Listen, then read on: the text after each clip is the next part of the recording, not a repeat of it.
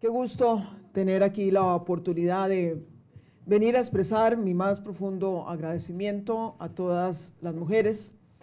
eh, y eh, los hombres que visten el uniforme de la fuerza pública y por supuesto que a todo el equipo de soporte eh, que está precisamente ayudándoles a realizar su trabajo cada día.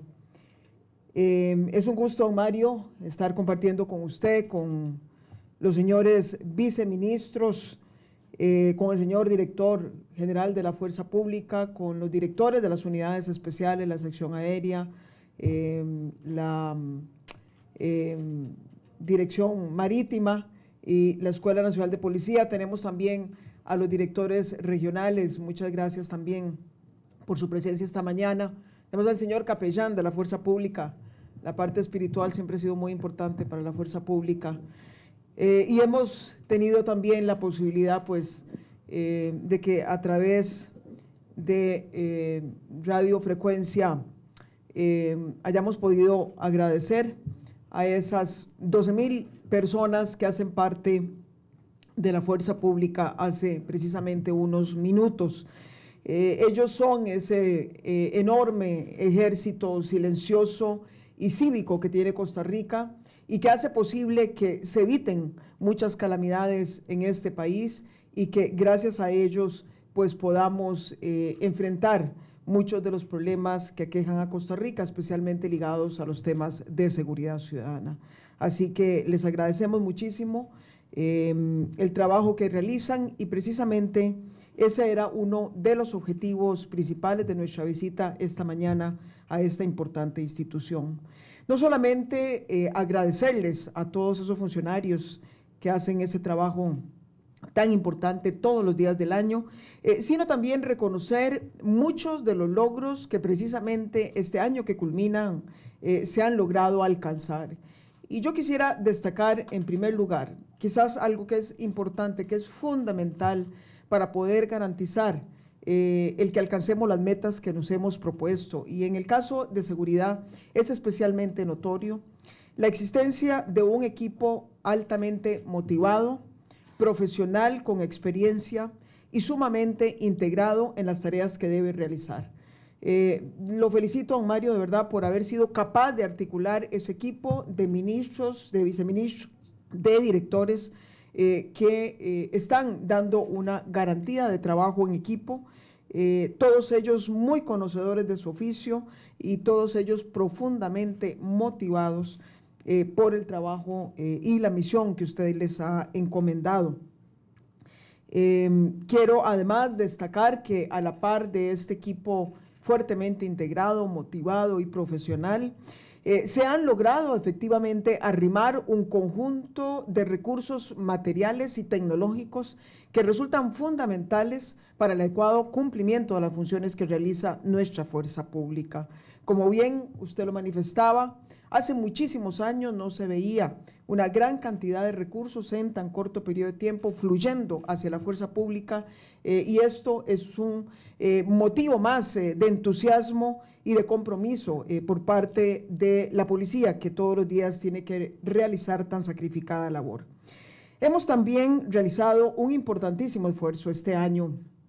eh, que cerramos eh, en todo lo que es el terreno de la profesionalización, una de nuestras banderas de siempre. Si no tenemos una policía formada y capacitada, por más que querramos combatir el AMPA de manera exitosa va a ser muy difícil porque el ser policía es toda una profesión, es toda una tarea, es toda una técnica. Eh, y eso requiere mucha formación y mucha inversión precisamente en capacitación. Por eso yo también quiero reconocer los logros tan importantes que acumulamos este año, agradecer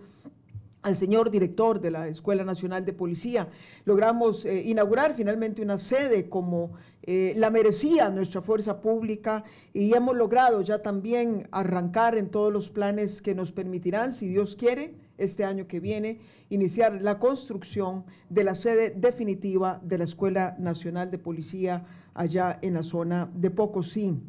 de Limón. Pero hemos además también eh, podido eh, finalmente, identificar un mecanismo de capacitación permanente sin sacrificar presencia policial en las calles y esto eh, está dando sus resultados cuando eh, logramos precisamente también atender muchas de las necesidades de presencia policial.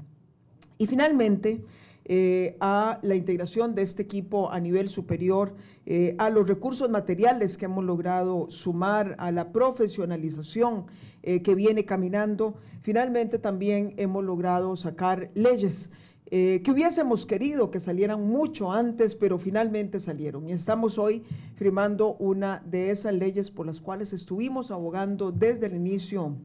de nuestra administración, que lo que vienen es precisamente a confirmar el que estamos cumpliendo las metas que nos habíamos propuesto. Una de ellas, dejarle a la fuerza pública un financiamiento permanente que garantice que independientemente de la situación fiscal del país, van a contar con esos insumos que le permitan hacer el trabajo como debe hacerse. Para el próximo año tenemos grandes retos. Sin embargo, quiero señalar que ustedes han honrado todos estos esfuerzos de adicionar más recursos, de capacitar más personal, de luchar incansablemente por las leyes que necesitamos, con los resultados que hoy aquí nos han presentado. Esos son datos eh, claros y objetivos eh, que demuestran que ustedes verdaderamente han merecido todo el esfuerzo que hemos venido procurando eh, en aras de arrimarles mucho más apoyo político, mucho más apoyo jurídico y mucho más apoyo material.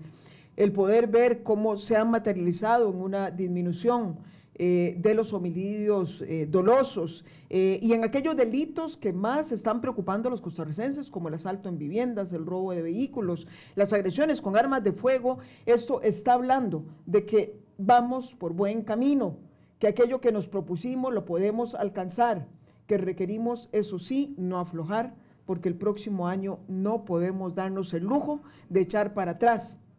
en el desempeño en este tipo de incidencias delictivas, pero que además, como ya yo se los he mencionado, necesitamos cubrir también otros delitos y hacerlos con la efectividad con que lo hemos hecho en este tipo, digamos, de incidencias delictivas. El próximo año eh, queremos ver cómo otra serie también de delitos empiezan a disminuir y cómo logramos conseguir algo que fue la propuesta de nuestro gobierno y era disminuir o contener la tasa de crecimiento de los delitos que han venido golpeando Costa Rica en los últimos años.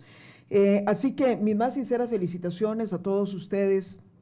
y a toda esa gente que hace posible eh, que estas cosas ocurran. El próximo año, como les decía, no es un año en absoluto para descansar. No solamente tenemos la obligación de sostener los esfuerzos eh, que hasta hoy nos han venido dando tantos réditos, quiero también destacar aquí, eh, por supuesto, también el esfuerzo que ha venido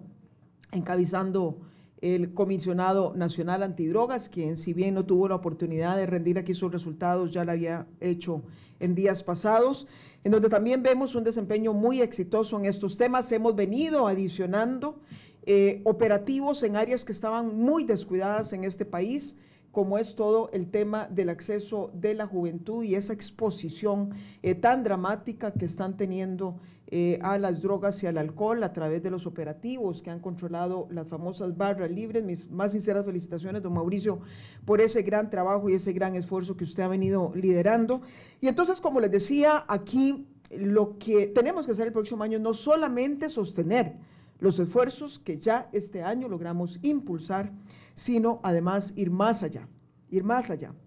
Y en este sentido, eh, vamos a ver una policía de fronteras que va a seguir eh, creciendo, que se va a seguir fortaleciendo eh, con un especial énfasis en todo lo que es la zona fronteriza norte de nuestro país. Vamos a ver también todo lo que es la incorporación de las tecnologías de manera más clara y más abierta en la gestión policial. Esto nos va a permitir además unos mejores niveles de supervisión, de control a todas las actividades policiales y por supuesto algo que es muy importante para nuestra administración, y así lo dijimos hace poco, vamos a ver también una mayor integración eh, del trabajo preventivo de nuestras comunidades de la mano de la fuerza pública, en un trabajo profundamente movilizador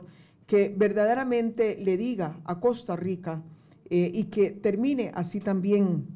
de empezar a consolidarlo a nivel internacional, que Costa Rica está dispuesta a luchar frente a la criminalidad, que aquí no vamos a permitir que vengan a radicarse quienes le han hecho tanto daño a otras naciones de la región y que en Costa Rica es mucho más la gente buena que la gente que nos ha venido haciendo daño. Así que, de nuevo, mis más sinceras felicitaciones por este gran esfuerzo y seguimos para adelante el próximo año. Ustedes saben que tienen en mí la más importante aliada de esta lucha que están enfrentando. Muchas gracias y que Dios les bendiga.